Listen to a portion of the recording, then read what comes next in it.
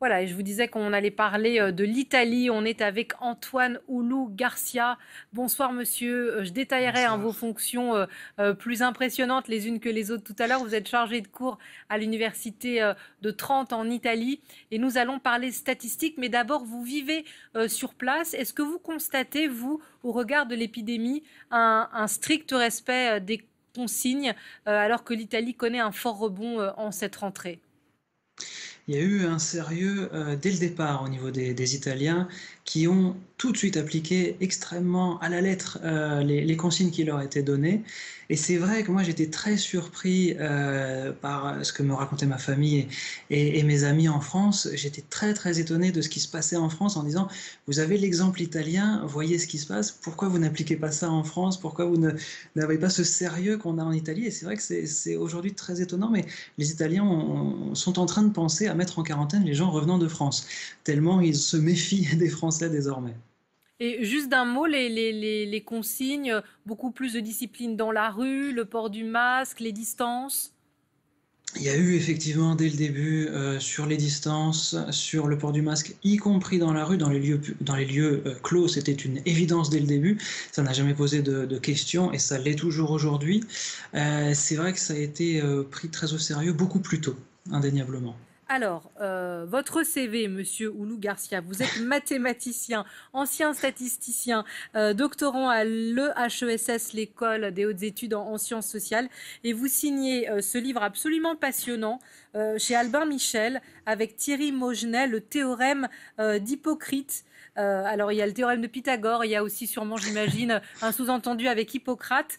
Et c'est, on vous a invité parce que vous, pour un mathématicien, vous dites il faut se méfier, il faut se méfier euh, des chiffres, surtout de la mathématique épidémiologique.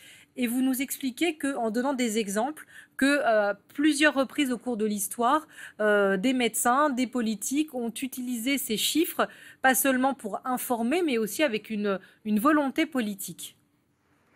Effectivement, le, problème de l'usage des mathématiques dans tout ce qui concerne euh, la médecine et l'épidémiologie en particulier, c'est qu'en général, on ne sait pas trop de quoi on parle. Il suffit de prendre le début euh, de la crise du Covid. Tout le monde se base en Europe au mois de janvier et février sur les chiffres de la Chine. Le problème, c'est que les chiffres de la Chine, ils sont complètement faux et tout le monde doit le savoir. On ne peut pas croire sincèrement qu'on met en quarantaine une province de 60 millions d'habitants en Chine avec seulement 10 000 morts. C'est complètement absurde. Donc, on doit quand même avoir la, conscience minimale que ce chiffre est faux. Et pourtant, on se base dessus. De la même manière qu'on va se baser très très vite sur des projections euh, épidémiologiques sur euh, la, contamination probable à venir euh, du Covid, c'est une chose qui n'est pas nouvelle. Euh, avec la vache folle, avec le H1N1, le H5N1, etc.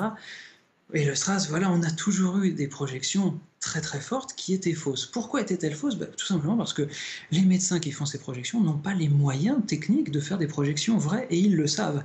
Le problème, c'est que la sphère politique... C'est ce que vous dites, hein. c'est très sévère ce que vous dites quand même. Hein c'est sévère, mais c'est pas sévère avec les médecins. Les médecins sont conscients qu'ils peuvent pas faire des, modèles prédictifs réalistes.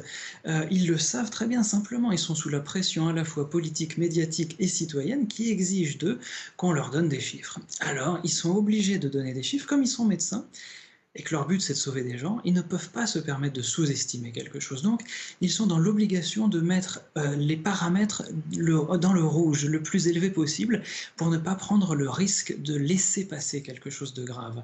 Simplement, eux, ils ont la conscience que ces chiffres sont faux et on voit très fréquemment que à peine ils les ont annoncés, ils, euh, les tempèrent en disant que ces chiffres n'ont pas beaucoup de sens. Mais malheureusement, les politiques euh, veulent s'appuyer dessus et ça c'est une erreur politique, ce n'est pas une erreur médicale.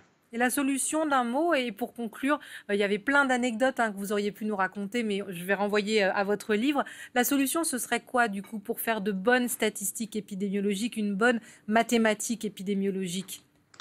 Il y a déjà une nomenclature internationale à définir sur pas mal de choses. On a vu des difficultés de comparabilité internationale entre la France et l'Allemagne sur les cas euh, de Covid avec les tests post-mortem en France qui n'étaient pas faits en Allemagne, ce qui faisait nécessairement augmenter le nombre de cas en France avec le nombre de tests, euh, par exemple en Allemagne, qui était euh, extrêmement fort et en France très faible. Donc forcément, le taux de létalité était beaucoup plus faible en Allemagne qu'en France pour des raisons tout simplement mécaniques au niveau mathématique. Ce qu'il faut déjà, c'est essayer d'harmoniser un peu tout ça. Ensuite, peut-être que parfois, il faut aussi savoir se passer des chiffres. Il faut peut-être raisonner en citoyen, raisonner en politique, et pas forcément en euh, usager de statistiques qui ne sont pas exactes.